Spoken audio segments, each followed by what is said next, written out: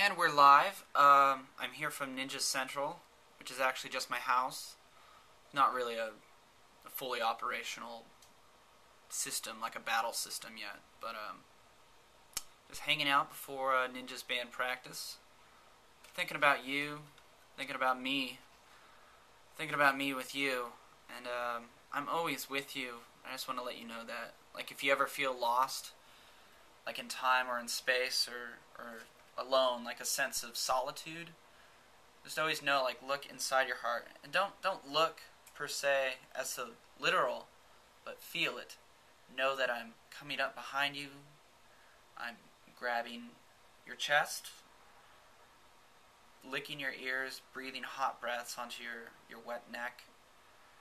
Moist, damp affection for you. And I do that as a gift. It's it's not for my benefit.